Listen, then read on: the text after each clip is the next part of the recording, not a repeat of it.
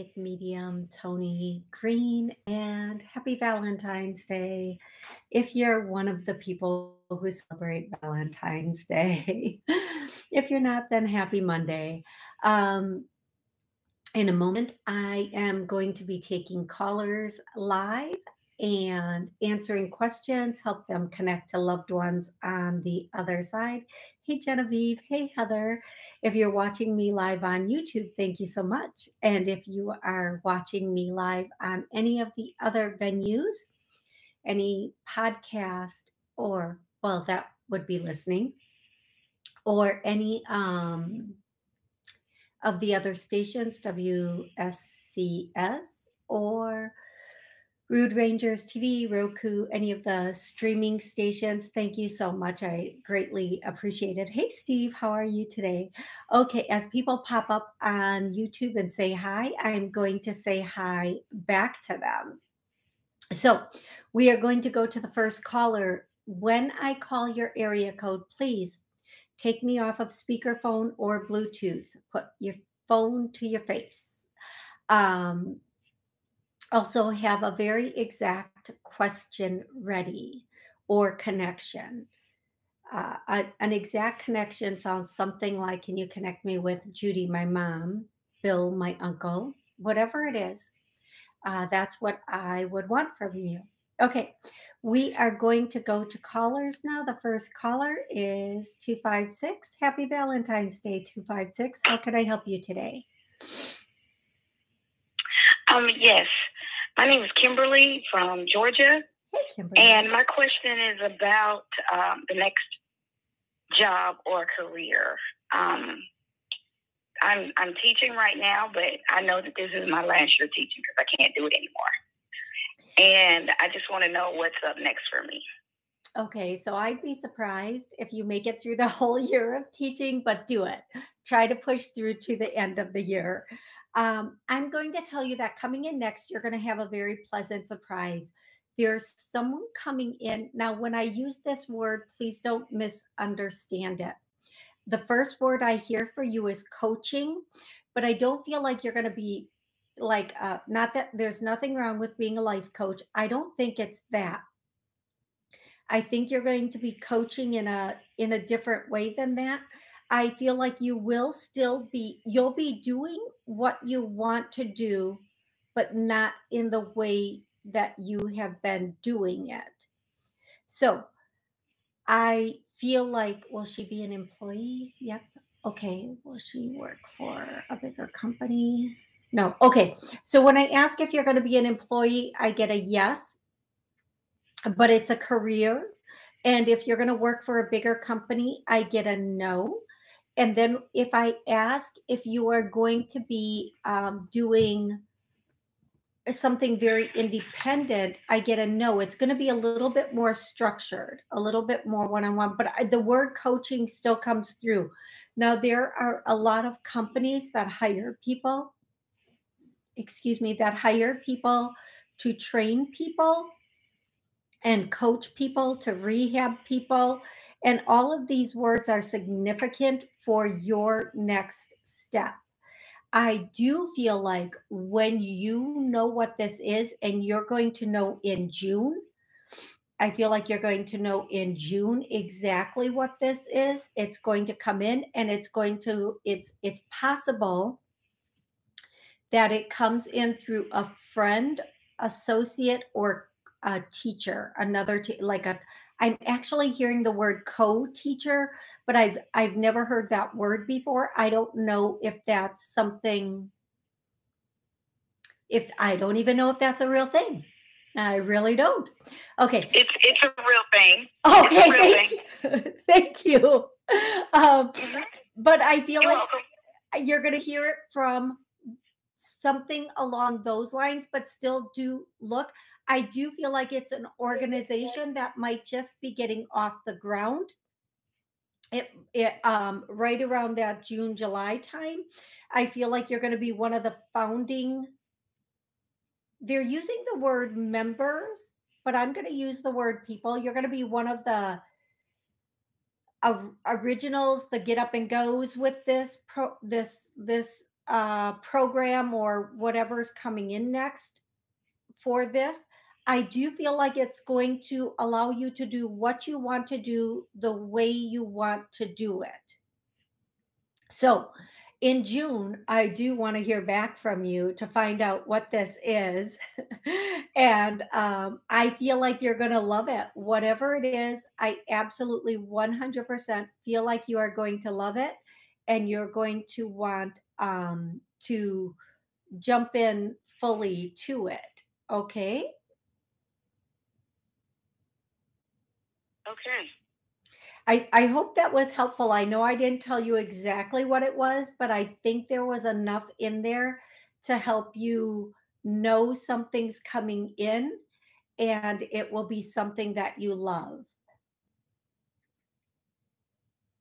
Okay. Excellent. Thank you. You're so welcome, Kimberly. Uh, thank you so much for calling in. I'm going to do a clearing now for everyone listening, re listening, watching, re watching. And a clearing is basically a healing. So I'm going to do a, mm, let's see, I said I was going to do love, and it is Valentine's Day. So let's do, we are finding our perfect love. And I get no, and I do believe our perfect love is ourself um, I'm also going to do We Are Loving Ourselves Unconditionally. I get a no. So we're going to, oh, clear and heal both of those for everybody listening and re listening, watching, rewatching. Okay, I'm going to go directly to 512. 512, how are you today? Hi, Toni. I'm doing well. Thank you. You're welcome. What's your name? Where are you calling Uh, from? My name is Yvonne. I'm calling from Texas. Hey, Yvonne. So, what's your question or connection for the day? Well, I do have a job um, question. I've been looking for one. I got laid off like two weeks ago. But I also want to see if I have a friend that um, is trying to come through. She just passed two weeks ago, also. So, which one do you want to know about the job or the friend? Um, I better go with I better go with the job. Okay. So, I feel like within a month, within a month, you're going to know about the job, the new job. I do feel like it's it might be time for you. I can't, I can't tell you what to do. I'm not the boss about you of you. Um, hmm I do feel like you are going to find something in a similar or the same industry. And I feel like it's going to be within a month. I feel like you are going to have much better luck at the new place than you did at the, the last place. And I do feel like at the new place, there will be some room for advancement or some like a come up. Um, I don't know what come up means, like advancement, promotions, moving up more, having the ability to uh, go further in the new company than you did in the last company. I'm really um, going to tell you to start looking. I feel like you're going to find this right away, and within a month, you're going to know for sure. Okay, love? Okay. Thank you so much. Yes, I've been applying, so I'm just waiting for feedback Yeah, I feel like something's to hear coming in. back from them. It's coming in very quickly. Um, I do feel like you're going to be very happy with what you do find. Okay. Okay. Thank you, Toni. You are so welcome. Have an Have amazing have an amazing rest of the day. And for everybody looking for work, everybody trying to find that perfect uh, fit of an occupation or career, uh, let's do a clearing that that comes in quickly and it's the right match because the place that offers you what might look good on paper might not be the perfect place for you. It might not give you that advancement. It might not give you what you're looking for. So let's do that clearing. Who? Holy moly. And I want to say hello to um, Amy and Uh, Eyes Uh, let me look at a little closer at that. Um, yeah, I st I I don't I don't know how to say that. Um, Genevieve's friend. Hello, Genevieve from Montreal's friend. Hello. Thank you so much for joining us. Okay, I'm gonna go to the next caller, 860. 860, how are you today? Hi, Toni. It's Amla. Hey, Amla, how have you been? I'm good. I'm good. Happy Valentine's Day. Happy Valentine's Day. So, how can I help you today, love? yes. Speaking of which, I feel closer to meeting my committed partnership. Do you see when and if he might be coming? I can say if, when he's coming, because I'm ready.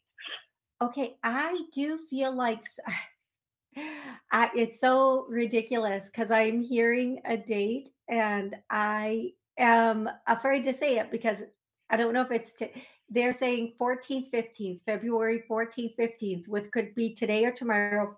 Now make sure you're out. Now, just on one other note, they could be talking about next year, but I don't think they're they are. I think they're talking about today, tomorrow, you have the potential to meet someone. Now, I'm really nervous saying that because it's like now, but maybe that's why you got through today. know, exactly. That's So funny. maybe you're supposed to get out there today and go to lunch with a friend or just go to lunch by yourself. I dinner by I don't know, but I feel like you're supposed to be out and about today. You are going to meet this person. Um, you are going to meet this person in a obviously in a public setting based on everything they're saying right now and you're going to meet this person either today you have the potential to meet this person today or Right. tomorrow now i'm going to say um you know how when we we really want to meet somebody we're out there and we're looking at everybody just like oh who's looking back relax. If it's meant to happen, it's going to happen. I feel like somebody's going to come Yeah. in and you're going to be um funny statement, but I I don't I, you're going to kind of be blindsided by this person. You're going to be um and I I don't know what that means, but you'll have to tell me after it happens what it means. Okay, Amla? Yes. Excellent. Yes. That sounds great. I appreciate your call, uh, your your answer, and um, I'm going to still listen to you. Thank you so much. Thank you. I hope you do continue to listen and absolutely my pleasure. And again, let's do another clearing for Amla, for everybody else watching, rewatching, listening. Um, let's do a, a healing on being open to love and the right person. And I get that some of us are not. So let's clear that to a yes, because that's really, really important. It really is. Um, let's go to 415. Boy, the first 415 is 415 416. Hello, 415. How are you today? Hi, I'm great. This is Kate. Hey, Kate, that it's so funny because I don't, so folks watching or listening, I don't, um, I don't, n- there's no names with the numbers. There's just numbers. So there's two 415s in a row. So f- the next 415 Hold on, I'll be with you in a moment. But so when I'm clicking on them, I have no idea who I'm getting on the other end. And no, I don't memorize numbers. I can barely memorize my own number. Okay, Kate, how can I help you today? I would love to hear from uh, a friend who passed when we were young, uh, Paul. His name is Paul. Oh my gosh. I have a Paul that passed when I was young too. Okay. Uh Paul, where not my Paul, Kate's Paul. my Paul comes around every every now and again to say hi. Okay, uh, Kate's Paul, where are you? Here, over my right shoulder. Okay, is there something specific you would like to oh, ask or talk about with Paul? Well, the first thing he's saying is a song, um, and the song is Let the Good Times Roll. Let the good times roll. Oh, So that's the first thing that he is um, saying. And then I don't, um, give me something other than that statement to start with. Um, he is very, um, I'm hearing all these words like proactive and he was a very strong-willed person, I feel like in some ways, on some sides. He was very, very strong-willed, very um very uh just had this force about him with certain things. But now back to you. He wants to say, Hey, how are you doing? What's going on? Ha ha ha. I already know. So so he's letting you know he's been he's been watching out okay. for you. He's been hanging around you. He's been um enjoying the time that the two of you uh ha- that he is watching over you. Um he's singing this other song now i was going to say this another song that's not even a word this other song um it's it i don't even know the words but the way he's saying it is jump on it jump on it jump on and on and on it. And then he's stopping there and his reason for singing that song is you need to be a little bit more diligent in making your moves forward in doing getting everything together and being where you need to be and doing what you need to do don't have downtime right now yeah. don't have downtime Okay. and um if you even even when you're going to the bathroom have a notebook with you and be writing everything out for it okay so that's what Paul would like to say. He's bringing ideas and connections through to you. So please make sure that you are uh paying attention and always have something that you can either talk into like record or write down okay sweetie Yeah, that's wonderful. I he's always been a cheerleader for me and and a cupid. He always says he's gonna he's looking for the right speaking matches, he always gives me a message he's finding the match for me. i love that right now he wants you to focus more on work than love though that's his big thing right now is get on it get get to work get everything in order in that area and then everything else will fall into place okay sweetie Got it. All right. Thank you for the message. you're so welcome you're so welcome we're going to go to the next person who is also 415 but before i take 415 i want to say hi to caroline. I want to say hi to uh, mariella i think marielle marcel. I think that's how i say your name. I'm really sorry um, but hello back from norway to norway. Caroline oh hello and i think and uh, yes. Um, so we're going to go to the next caller who is also 415. 415, how are you doing today? Hi, uh, thank you. This is Jessica. Jessica. Um, so, my question is that I feel my life partner coming in. I feel him very strongly. And um, a couple of days ago, one of my soulmates, a male also, came in, and I there's an attraction there because obviously he's a past a soulmate. Um, but I'm wondering, so I know just to kind of like sort of ignore him in a way because he's just like in a way a little bit of a distraction. So is there a way that do you think that we'll just be friendly or is it that I should just ignore him and just get that relationship out of my life? Okay, so I have um I don't want to go playing games with this guy. I, I'm sorry, can you repeat that last part? I don't want to go into playing games with this guy or like getting angry at him or you know like I I wanted to just keep it positive. So I'm wondering if I should just like kick him out of my life or if there's a way just to kind of be ca- very casual friends. No. Okay. So th- when you said, should I kick him out of my life? Somebody just said, yes.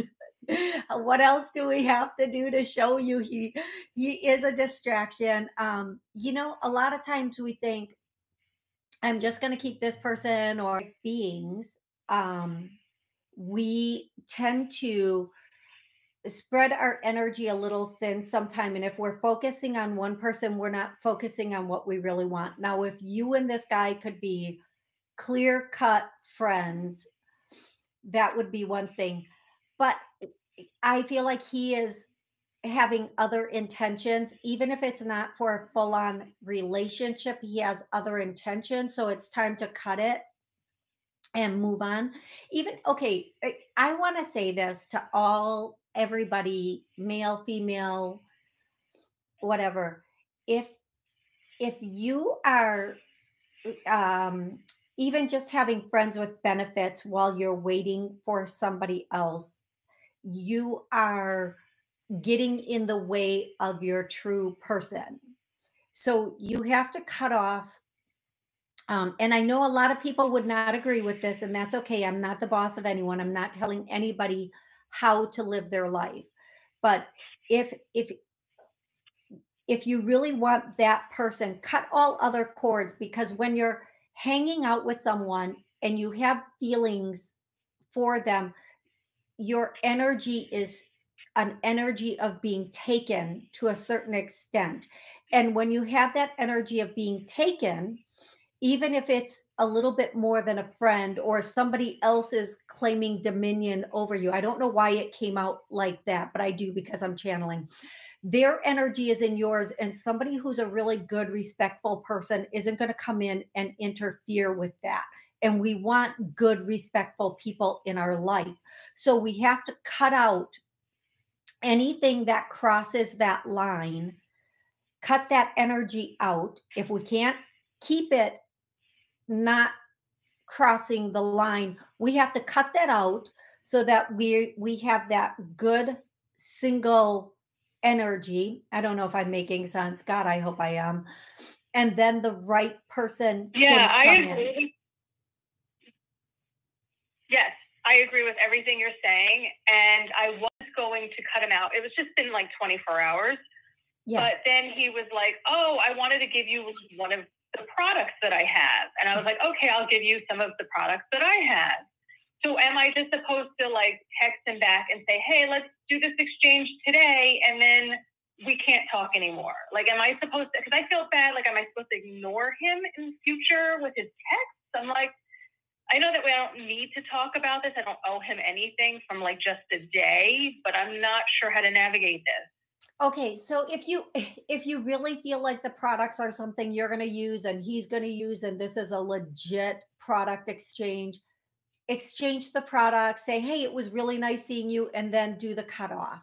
And you don't have to be rude about the cutoff. You know, there's a lot a lot of ways to do a, a nice like just hey, super busy, sorry, can't talk right now, but don't let somebody get into your energy and make sure that the motives are pure. If he's just giving you products because he plans on you being your client or something more, then don't even go there because you know you're not going to do that.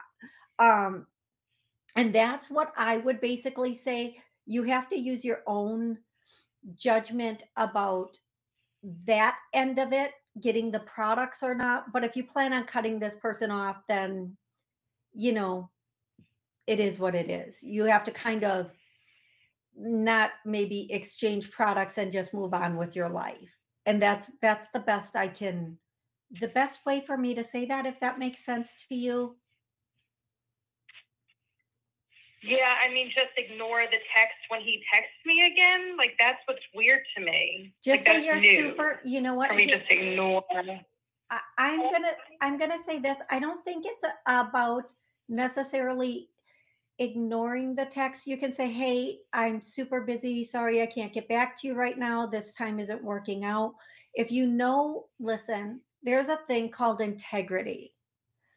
And if we know somebody wants more than we want, it's up to us to have the integrity and the character to not lead them on, to not do that game playing, to not